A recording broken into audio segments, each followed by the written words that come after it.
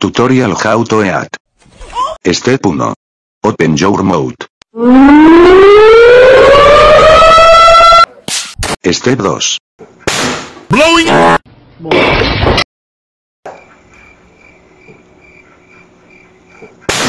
Step 3. Eat the food.